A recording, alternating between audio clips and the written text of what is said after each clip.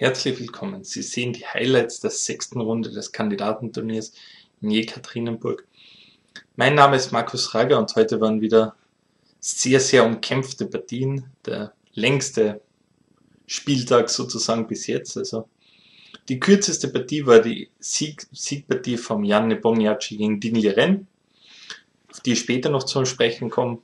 Die längste Partie des Tages war von Anish Giri gegen Alexenko. Die haben beinahe 100 Züge gespielt, 98 Züge und sieben Stunden, also wirklich eine Marathonpartie, die der Anish Giri gewinnen konnte. Aber als erstes möchte ich mal über die zwei Unentschieden sprechen. Das erste Unentschieden zwischen äh, Alexander Grischuk und Fabiano Caruana. Der Caruana ist in der Archangelsk-Variante im Spanier treu geblieben, die sich durch Läufer C5 auszeichnet.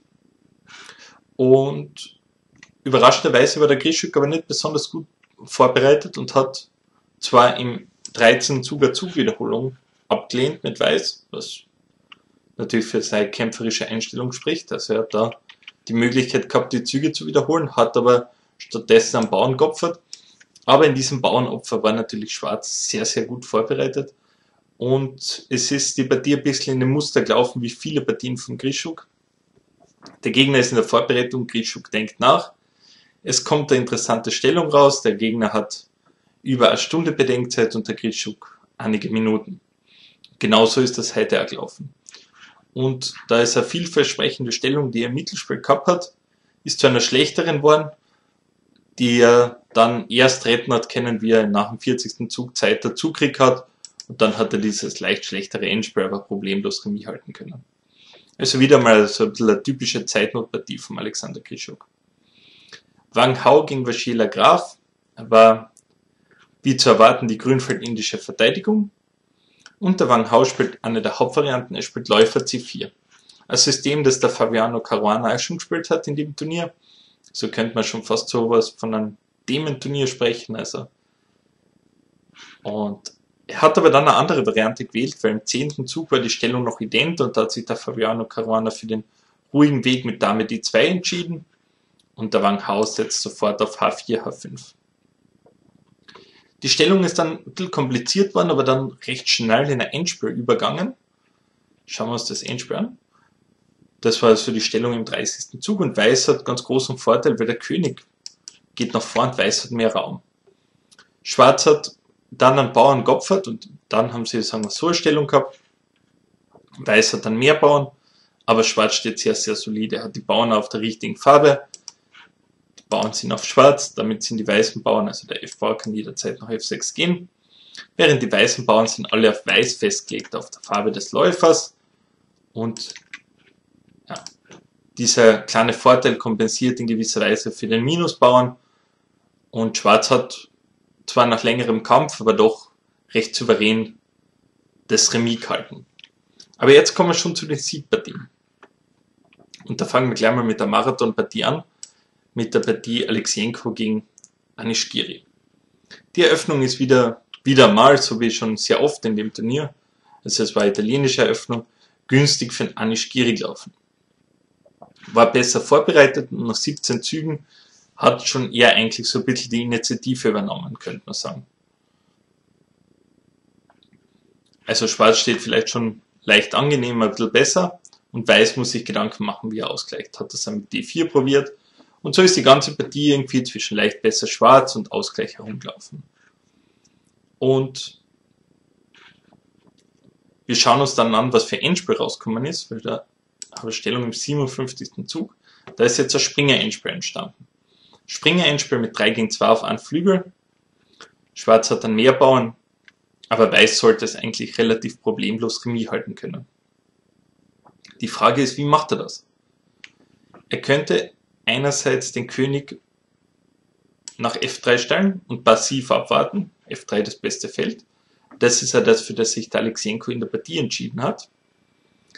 Aber, also ich bevorzuge auch immer, wenn es möglich ist, lieber eine aktive Verteidigung in dem Fall wäre König H3 stärker gewesen und vor allem auch praktisch besser, weil man das Remis sozusagen forcieren könnte. Die Idee ist König H3, König H4 und später F5 und noch einen weiteren Bauern zu tauschen. Also das hätte mir noch besser gefallen. In der Partie hat der Springer C3 gespielt, auch kein schlechter Zug. Hat später vielleicht noch einmal eine kleine Ungenauigkeit begangen der Weiße. Aber ist alles nicht so tragisch noch. Also Weiß hat jetzt an der Stelle Springer F2 gespielt. Und später ist der Springer dann nach H3 gegangen und dann waren König auf G2 und Springer auf H3 und alle Figuren waren passiv und Weiß hat sie wirklich nur, hat nur Auffangstellung eingenommen. Es wäre meines Erachtens besser gewesen, den Springer auf C3 zu lassen, dass er sozusagen Platz hat und noch herumspringen kann und eventuell Gegenspiel machen. Aber das ist nur eine Kleinigkeit. Es ist dann trotzdem eine remisliche Stellung rauskommen. Wir schauen dann einmal einen Moment, wo Schwarz endlich weiter tut. Also Weiß, Schwarz hat da jetzt viel erreicht, hat einen sehr starken König auf E4, den Springer auch ganz gut verbessert und Weiß steht sehr passiv mit Springer G1 und König F2. Und den Moment hat er genutzt, um H4 zu spielen. Anischki. Tauscht es ab. Das Problem ist, wenn Weiß nicht reagiert, dann wird dieser F4-Bauer gelockert und dann könnte man den vielleicht, wenn der Springer irgendwie nach D3 geht, angreifen und vielleicht sogar gewinnen. Und aus dem Grund hat er nach zwei Zügen nach Springer H3 König F5 hat er sich dafür entschieden, auf H4 zu schlagen.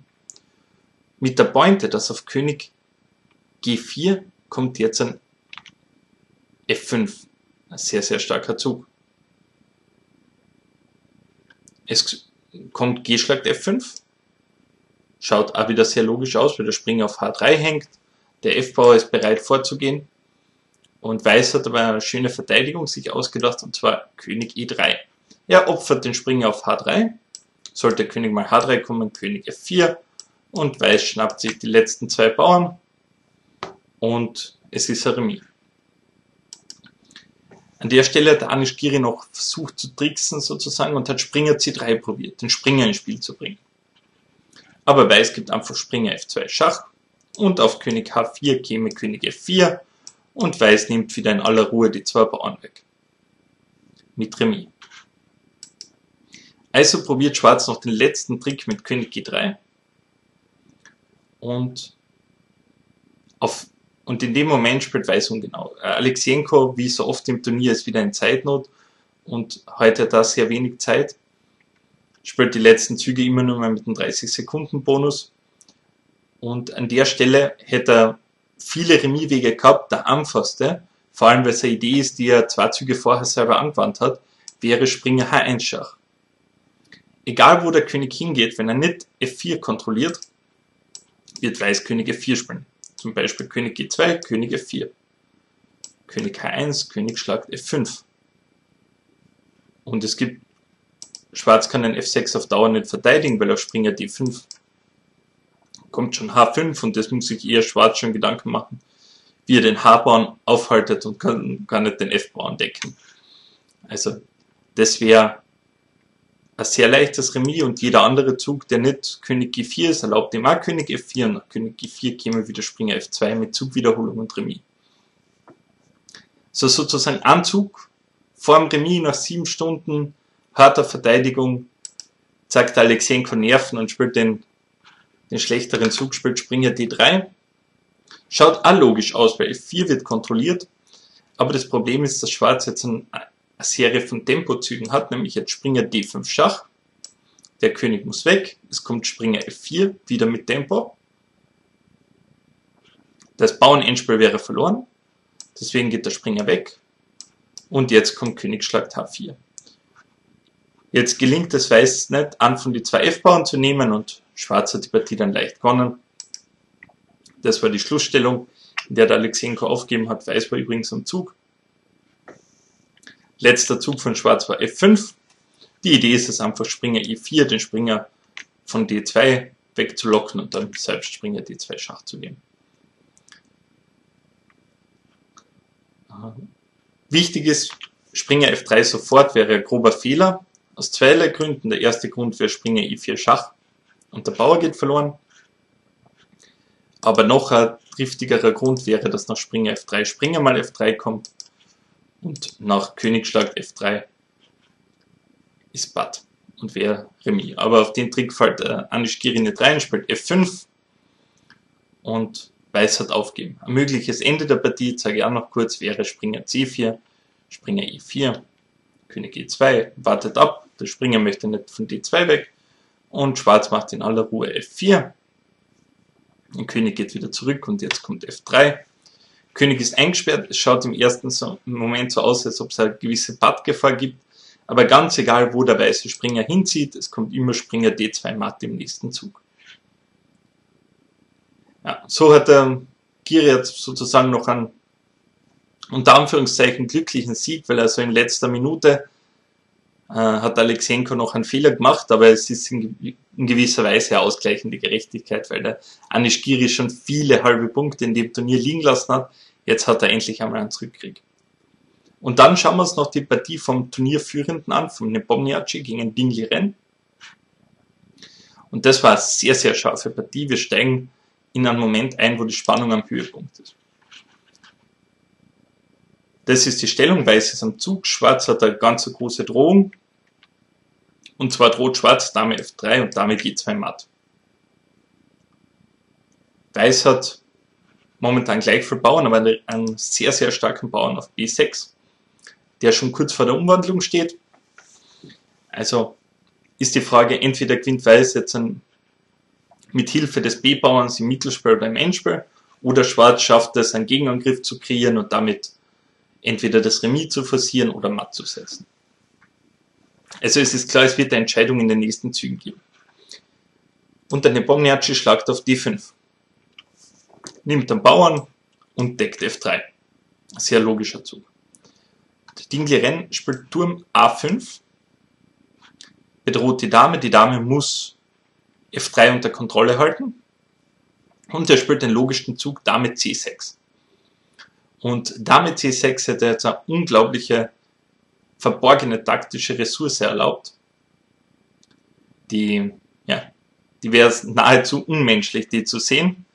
Wer mag, kann es aber trotzdem gern probieren und jetzt das Video pausieren und überlegen, wie könnte Schwarz sich noch verteidigen. Und der richtige Weg ist Turm schlägt B6. Und nach Turm schlägt B6 ist die sehr, sehr starke Pointe, nicht auf B6 zurückzunehmen, sondern Dame schlägt E2 zu spielen.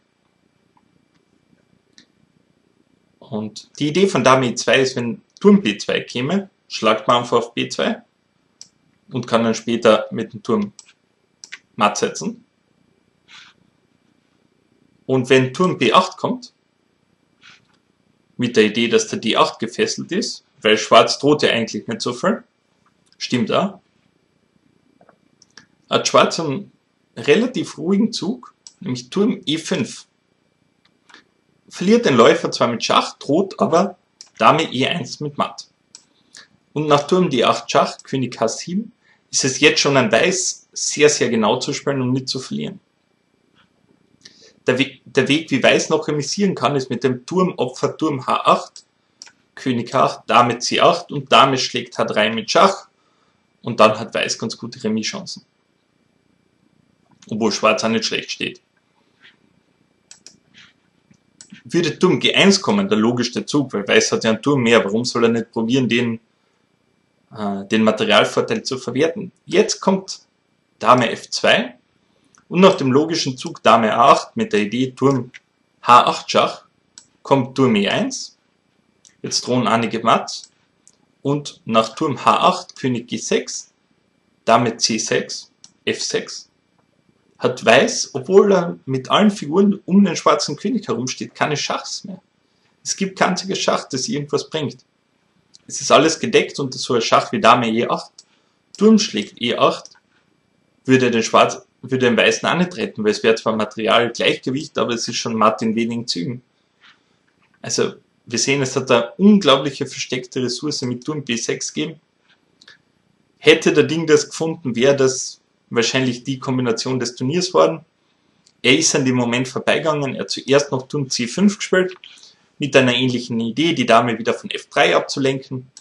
Doch nach Dame E8 Schach, König H7, hat Weiß die sehr, sehr starke Ressource Springer G1 gehabt.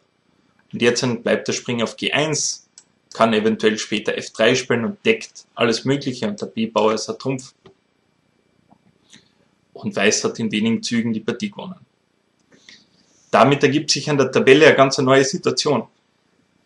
Der ein Spieler ist sozusagen jetzt dem Feld enteilt. Das ist der Jan Nepomniachtchi, der hat viereinhalb aus sechs. Ist schon einen Punkt vorm einzigen Verfolger vom Vachila Graf und eineinhalb Punkte vom Rest vom Turnier. Und das schaut nach einer sehr, sehr soliden Führung aus und jetzt ist er mittlerweile der absolute Turnierfavorit. Morgen ist noch einmal ein Ruhetag, aber nach dem Ruhetag erwartet uns die Spitzenpaarung Vachila Graf mit Weiß gegen Jan Nepomniachtchi mit Schwarz. Der Schlagabtausch der Führenden. Und die Partie wird in gewisser Weise eventuell schon eine Vorentscheidung für einen Turniersieg bringen. Also ich bin schon gespannt darauf. Bleiben Sie gesund. Bis zum nächsten Mal. Auf Wiedersehen.